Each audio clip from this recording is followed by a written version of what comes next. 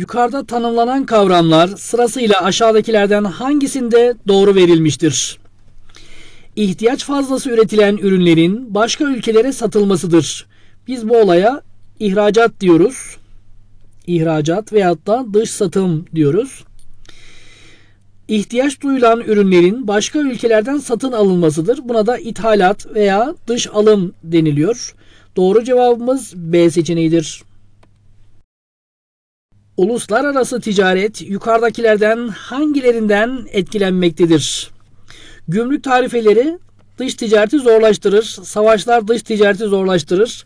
Siyasi yapı bazı ülkelerle ticareti kolaylaştırırken bazılarıyla zorlaştırabilir. Bundan dolayı 3 unsurunda uluslararası ticaret üzerinde etkisi vardır diyebiliriz. Doğru cevabımız E seçeneğidir. Türkiye'nin ithalatının artması durumlarından hangilerine neden olur? İthalatın artması giderlerin artması demektir. Bu durumda dış ticaret açığı artar. Ülke dışına dövizin çıkmasına neden olur. Fakat dış ticaret açığının azalmasına neden olmaz. Bundan dolayı doğru cevabımız 1 ve 3 diyoruz. C seçeneği doğrudur. Yukarıdakilerden hangileri Türkiye'nin dış ticaret açığının kapatılmasına katkıda bulunur?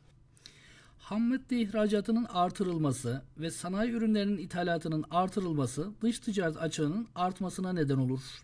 Fakat turizm gelirlerinin artırılması ve ulaşım sektöründen elde edilen gelirlerin artırılmasıyla dış ticaretteki açığın kapatılması söz konusu olabilir.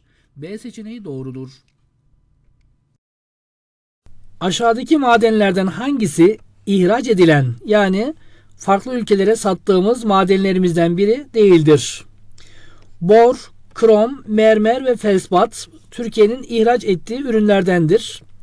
Özellikle mermer Türkiye'nin maden ihracatının önemli bir kısmını oluşturur. Fakat fosfat Türkiye'de yeterli değildir. İthal ürünlerimiz içerisinde yer alır. Doğru cevabımız C seçeneğidir.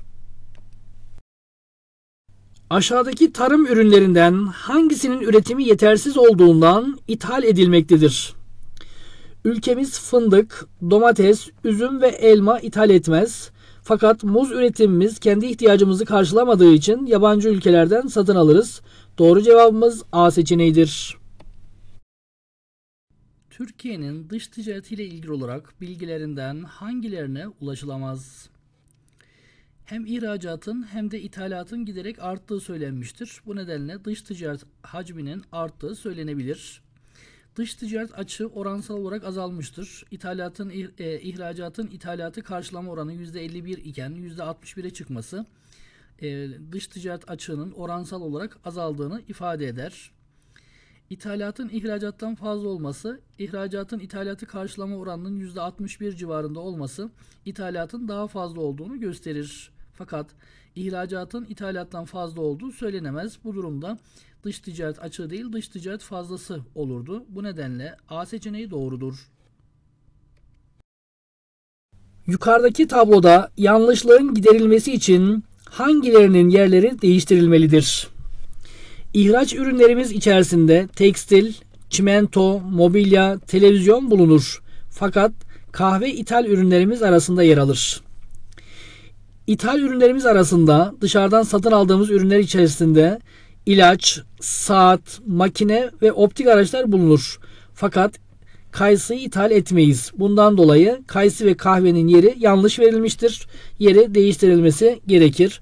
Bundan dolayı doğru cevabımız E seçeneğidir.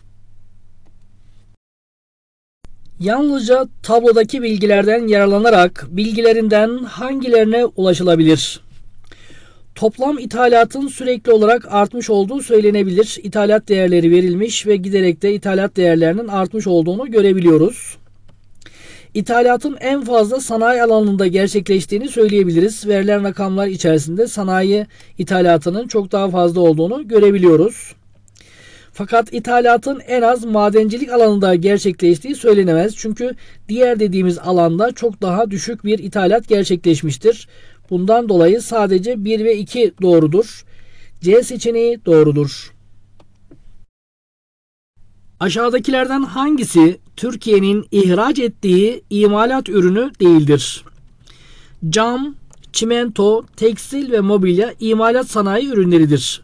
Fakat yine ihraç ürünlerimiz arasında yer alan felspat imalat sanayinin bir ürünü değildir. Ham madde olarak satılmaktadır. Doğru cevabımız D seçeneğidir. Tablodaki bilgilere göre aşağıdaki yargılardan hangisine ulaşılamaz? En fazla ticaret yaptığımız ülke Almanya'dır. Almanya ile olan dış ticaret hacmimize baktığımız zaman yaklaşık 28-29 milyar dolar civarında dış ticaret hacmi olduğunu görüyoruz. Diğer ülkelerle karşılaştırdığımız zaman Rusya ile olan ticaretimiz yaklaşık 26 milyar dolar civarındadır. Daha başka ülkeyle de ticaretimiz o kadar kuvvetli değildir. Bundan dolayı en fazla Almanya ile ticaret yaptığımız söylenebilir. İthalatın en fazla yapıldığı ülke Rusya Federasyonu'dur denilmiş. Baktığımız zaman en büyük rakamın Rusya Federasyonu'nda olduğunu görüyoruz. Bu bilgi doğrudur. Ticaret hacminin en az olduğu ülke İspanya'dır denilmiş. Burada İspanya'ya baktığımız zaman diğerlerine göre daha düşük olduğunu görebiliyoruz. 7 milyar dolar civarında dış ticaret hacmi var. Diğerlerini topladığımız zaman onların daha büyük sonuçlar vereceğini görebiliyoruz. Bu bilgi de doğrudur. İhracatın en az olduğu ülke Çin'dir denilmiş. Baktığımız zaman Çin ihracat değerlerinin verilen ülkeler içerisinde en az olduğunu söyleyebiliriz. Tüm ülkelerde ithalat ihracattan fazladır deniliyor. Bu bilgiye baktığımız zaman tüm ülkeler için doğru mu? İngiltere'den olan İngiltere'ye olan ihracatımızın daha fazla olduğunu görüyoruz. Dolayısıyla bu bilgi doğru değildir. Doğru cevabımız E seçeneğidir. Ülkemizin ihracatına konu olan sektörleri 3 ana grupta toplamak mümkündür. Bu sektörlerden biri de tarım, ormancılık ve hayvansal ürünlerdir. Aşağıdakilerden hangisi bu ürünlerden biri değildir?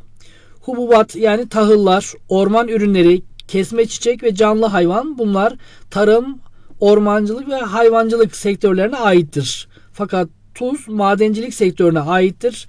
Bundan dolayı doğru cevabımız D seçeneğidir. Yukarıda verilen ülkelerden hangileriyle Türkiye'nin dış ticaret hacmi daha fazladır?